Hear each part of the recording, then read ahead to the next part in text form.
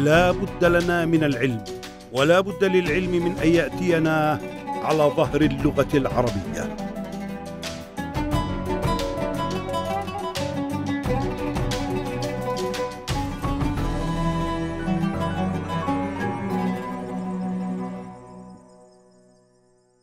القطائف جمع وما مفردها؟ السفرجلة مفرد ما جمعها؟ لماذا لا يجوز لنا أن نقول هؤلاء دفاتر؟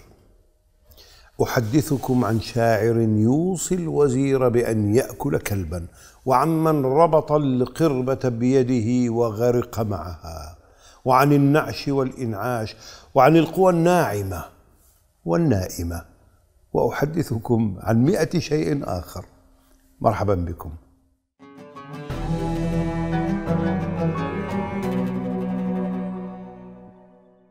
الصاد حرف صفير يشبه السين غير أنه أفخم.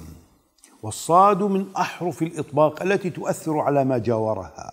ولا يرقق المذيع الصاد فيجعلها سينا لا تظرفا ولا اتباعا للكنة عامية الصعب يبقى صعبا لا سعبا والصعود صعودا لا سعودا.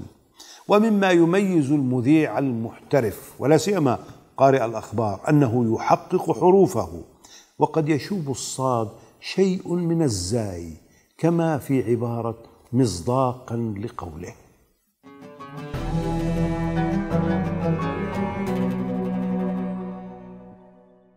قرص القطائف. هذا خبزة طرية ناعمة كالقطيفة كالمخمل يحشونها جوزا أو جبنا ثم يغمسونها في القطر أو العسل.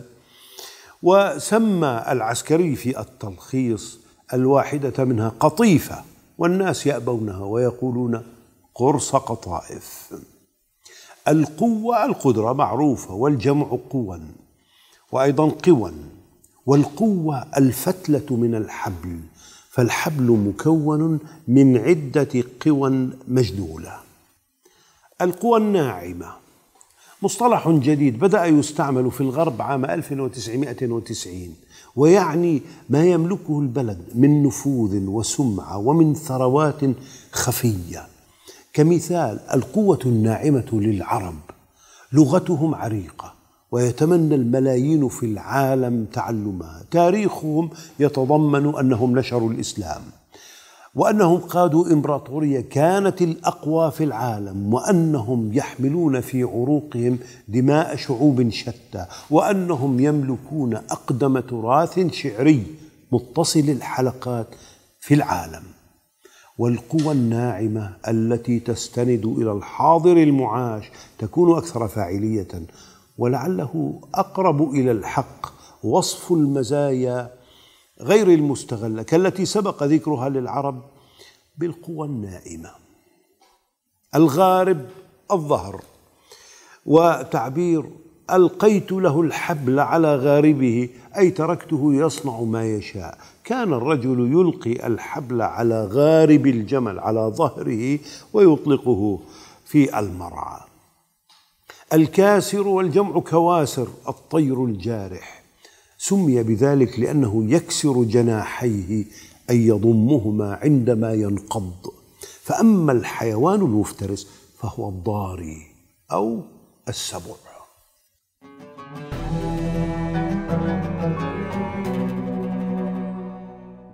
نقول هذه شركة مساهمة على الإضافة وهذه شركة مساهمة من باب وصف الشيء بنفسه كقولك هذه كلمة خطأ. وهم في الواقع يقولون هذه شركة مساهمة مع أنها لا تساهم في شيء بل الناس يساهمون فيها. ونقول هم عشرة من الرجال بفتح الشين وهن عشر من النساء بإسكان الشين. نقول اعتذر عن الغياب. هذه صحيحة. يغيب يعتذر. واعتذر عن عدم الحضور صحيحة أيضا. والشائع اعتذر عن الحضور. طيب إذا كنت ستحضر فلماذا الاعتذار؟ أنت تعتذر عن عدم الحضور. نقول نريد إنجازه في أقرب وقت ممكن. هذا صحيح. ولا نقول في أسرع وقت ممكن. فسرعة الوقت لا تتغير. هدف يهدف بضم الدال. ما نهدف إليه هو منع تسرب الطلبه من المدارس. لا نقول هؤلاء دفاتر هؤلاء للعاقلين فقط ولا نقول هم دفاتر نقول هذه دفاتر. هرع يهرع بالبناء للمجهول نقول هرعت الشرطة إلى مكان الحادث. الكوكب الزهرة بضمة ففتحتين والتي في الحديقة الزهرة. المكان الذي يتم فيه العرض المعرض بكسر الراء.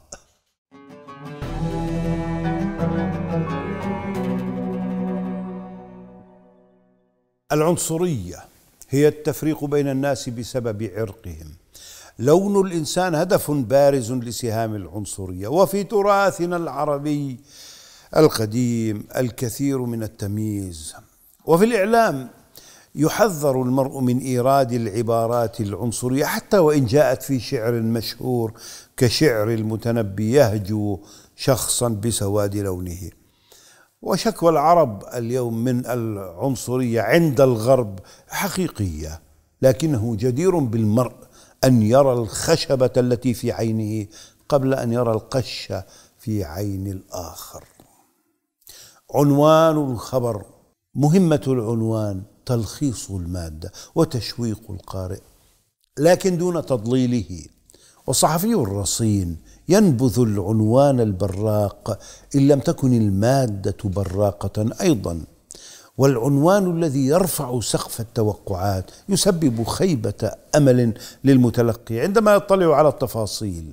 جميع العناوين يجب أن تكون مختصرة.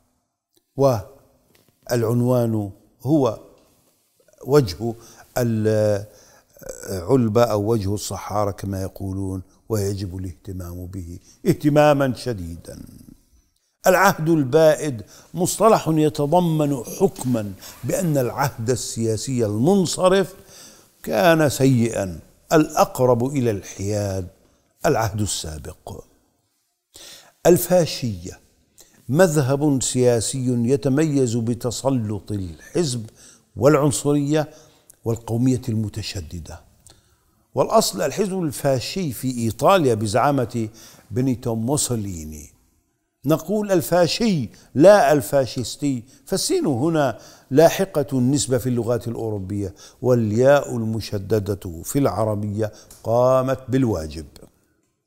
الفظائع الأعمال الشنيعة وهي كلمة دارجة في القاموس الإخباري ويستعملها الصحفي بحرص ويبلغ من الحرص الكاذب لبعض وسائل الإعلام الأجنبية أن تمتنع عن إطلاق هذه الكلمة على التعذيب الذي ارتكبه الجلادون الأمريكيون في سجن أبو غريب العراقي.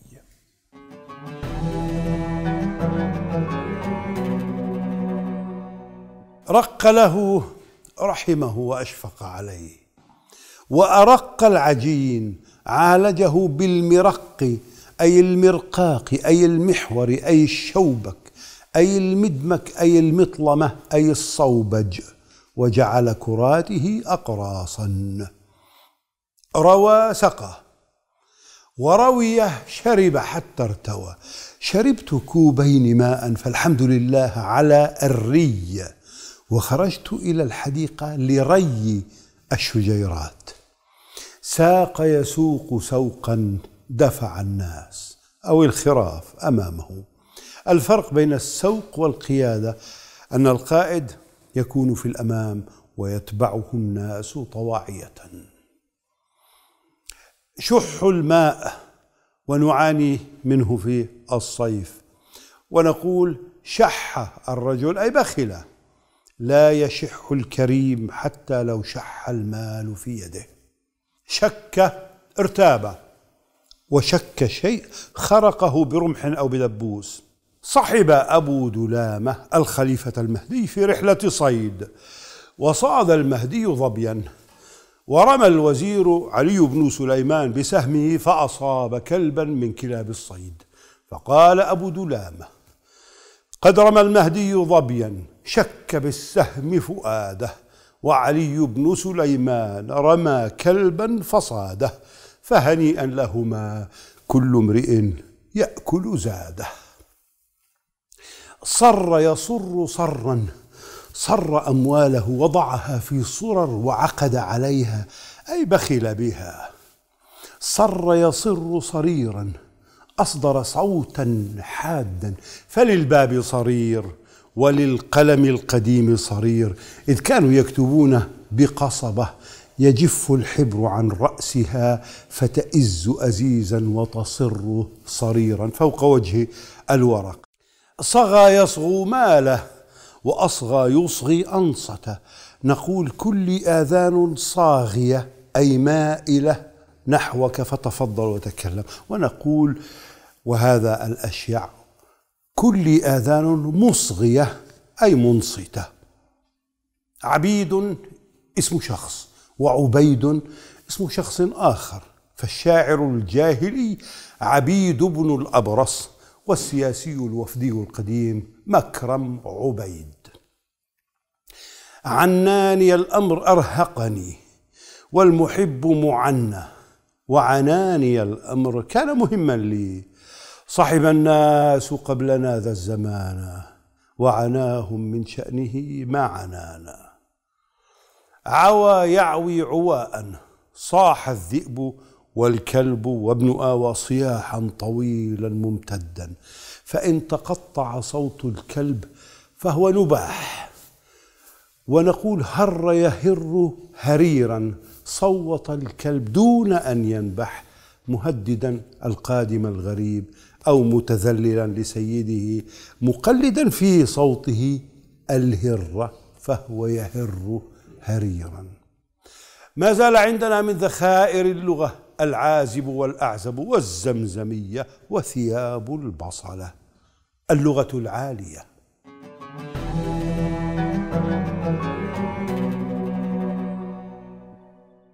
طاف يطوف طوافا جال وساح. ونقول طوف في البلاد بمعنى طاف. لقد طوفت في الآفاق حتى رضيت من الغنيمة بالإياب. عاق يعوق عوقا أعاق يعيق إعاقة وعوق يعوق تعويقا. كل ذلك صحيح. عثى يعثو أفسد. نقول عثى النظام السابق فسادا والأشهر عاث فسادا. عثر بالحجر ارتطم به وعثر على نظارته وجدها ويصر بعضهم على القول عثر بنظارته.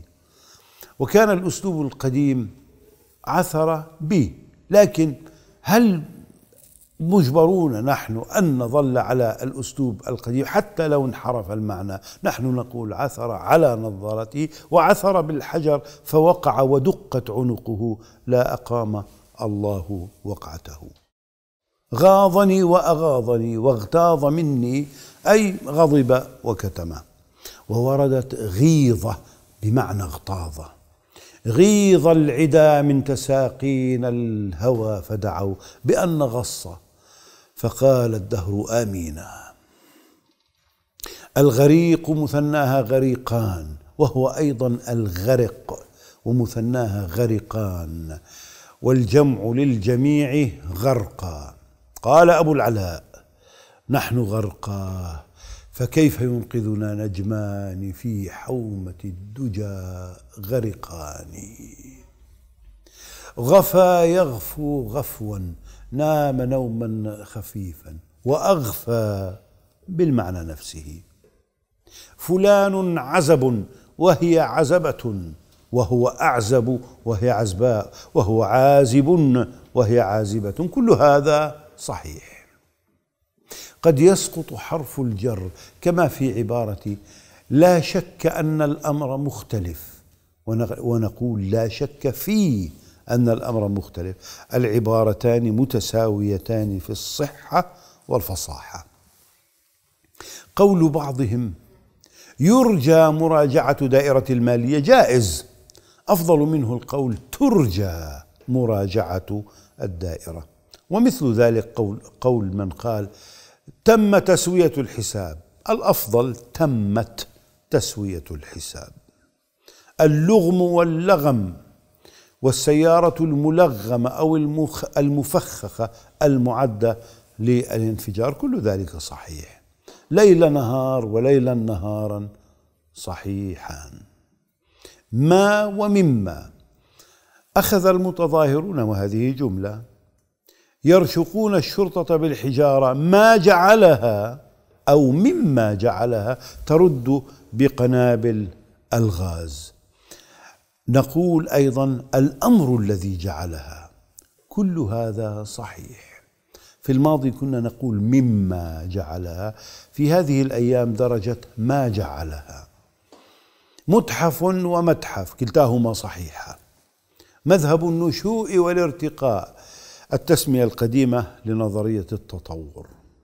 مشى الهوينا بالألف المقصورة والهوينا بالألف الممدودة. ملاحظة وملاحظات وملحوظة وملحوظات كل هذا صحيح. نشر الناس ينشرهم نشورا بعثهم الله من قبورهم ومثلها أنشرهم إنشارا. يقولون نظر القضية وهذا وارد في العربية ذكره ابن سيده في المحكم ويصح نظر في القضية. يقولون اليوم أنعش الله قلبك وكانوا في القديم يقولون نعش الله قلبك. هذه هي الموجودة في القواميس. وغرفة الإنعاش هي غرفة العناية المركزة في المستشفى. تخيلوا لو سميناها بحسب القدماء غرفة النعش. لنبقى على الخطأ الشائع.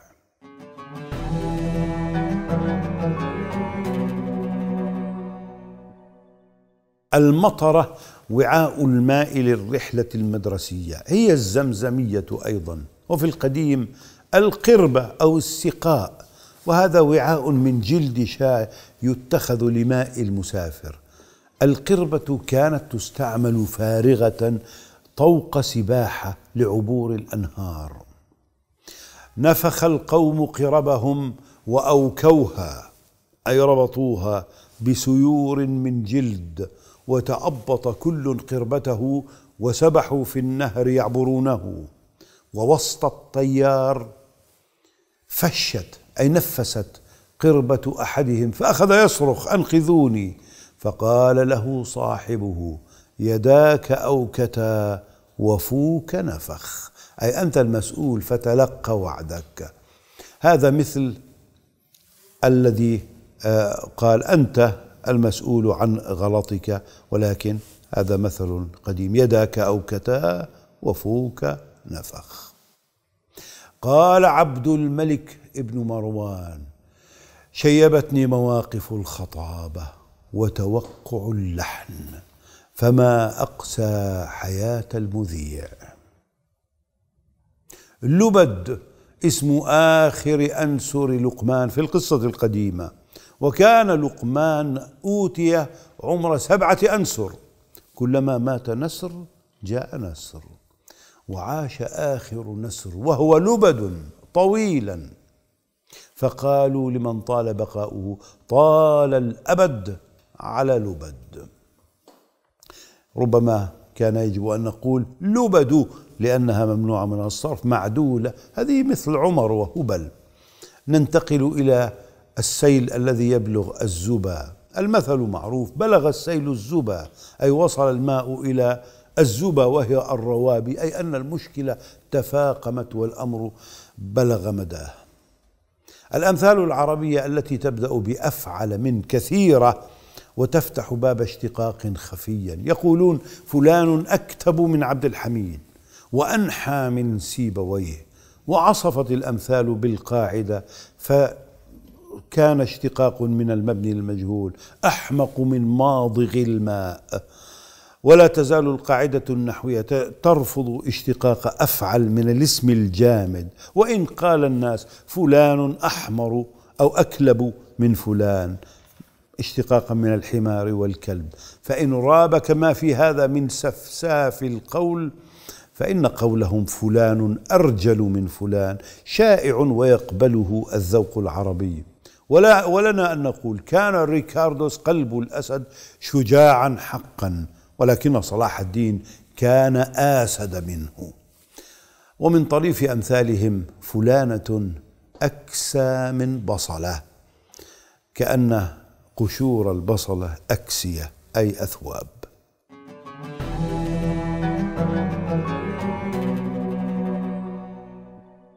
عبارة ما نشر عن القضية هو قمة جبل الجليد فقط.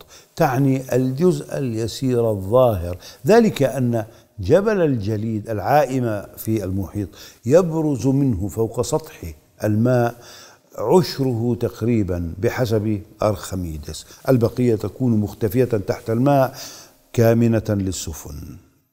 غسل الأموال تصريف المال المكسوب بصورة غير قانونية بتحويله إلى عقار أو إدخاله في حسابات المصرفيه ثم استرجاعه بحيث يخفى مصدره.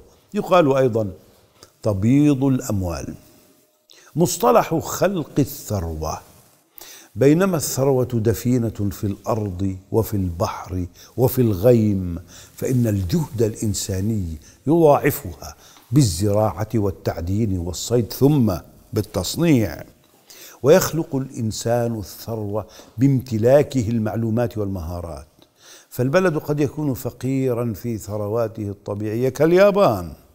لكنه رغم ذلك يكون غنيا إذا امتلك مهارات هندسية وتقنية.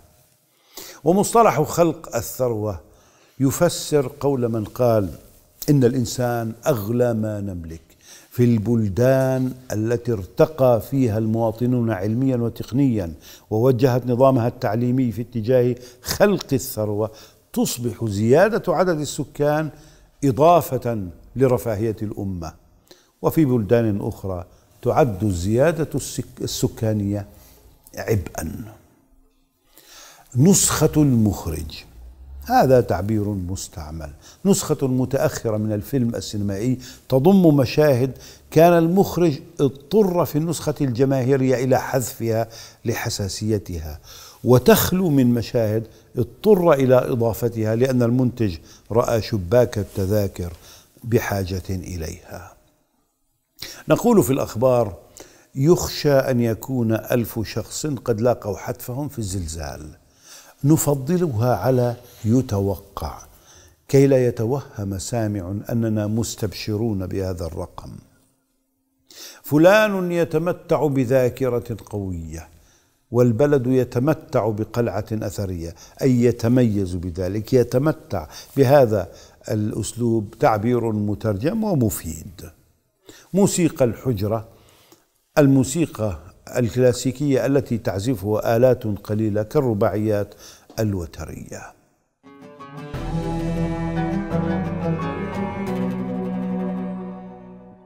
نعود من حيث أتينا. السفر طاس هو طاس السفر وتسميه العامة في بلدنا مطبقية وهذا أفصح فهو طبقة فوق طبقة فوق طبقة وكانوا يحملون طعام السفر في سفر طاس. وأما السفرجل فلا علاقة له بالسفر إلا أنه يبدأ بسفر. وأهل الصرف بما عرفوا عنه من قلة العقل اعتبروا السفر أصل السفرجل فجعلوا وزن الكلمة فعلل. ولكنني وجدت للسفرجل علاقة أخرى ليس بالسفر بل بعدم السفر. سافر جحا من قريته إلى المدينة حاملا معه سلتين هدية للوالي.